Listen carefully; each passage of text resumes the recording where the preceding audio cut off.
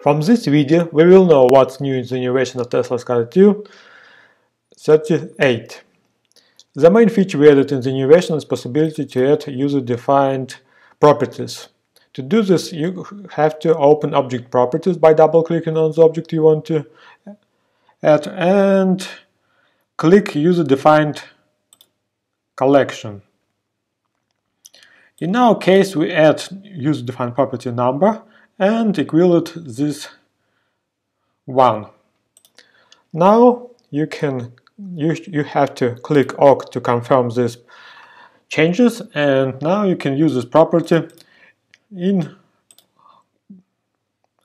other properties. For example, you have to change flash rotation depending on state 1 tag. You can click enable property and click choose tag and enter state and enter number our property. Now our text flash property depends on the text state 1. You can click and let's check it's change and for example 1 it can change. Also, you can use this property in scripts. For example, in ESTA motor fill, you can it's bind its ob object type script and bind to our motor. We get this name by state object this number and object this number we get speed.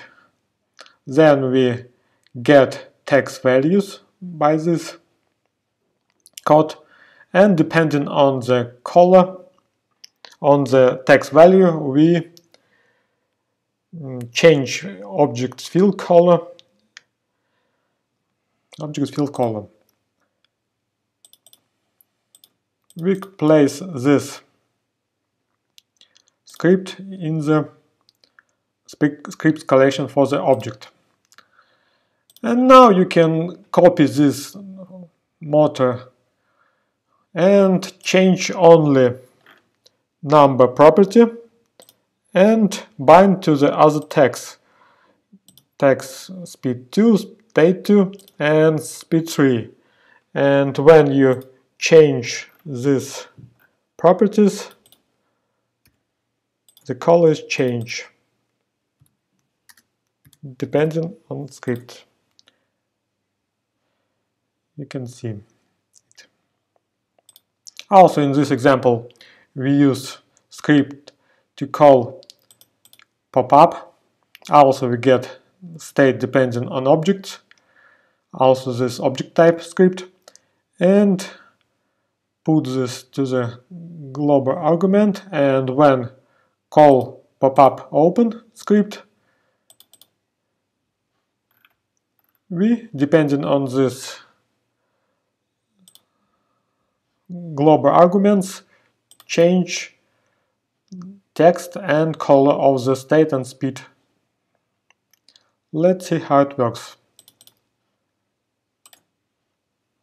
For example, we call this pop-up, we call this pop-up, and for example, we change this to other value and color and text is changed.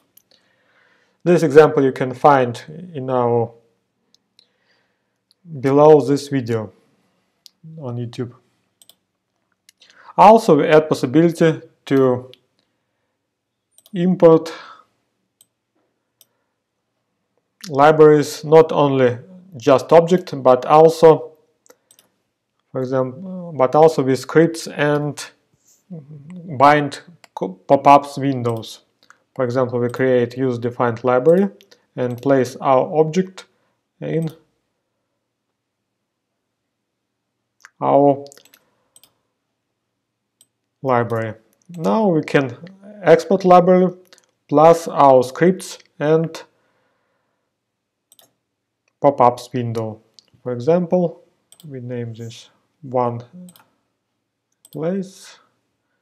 And now when you export this library, you can find not only object but also pop-up window screen, this screen, and objects that bind to this object scripts that bind to this object.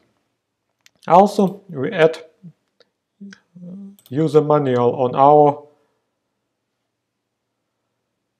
on our site.